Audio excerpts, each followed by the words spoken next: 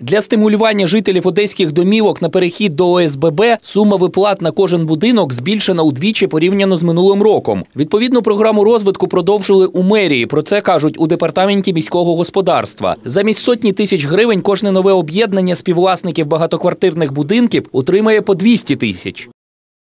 Сума коштів, які виділяється на один будинок, е, збільшена.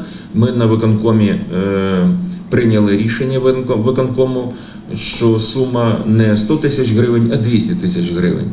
Чому? Тому що інфляційні процеси, підвищення мінімальної заробітної плати, підвищення цін на будівельні матеріали, звісно, вони е, не давали можливості повністю, як то кажуть, задовольнити хоча б той мінімум, який е, необхідно зробити у тому чи іншому будинку.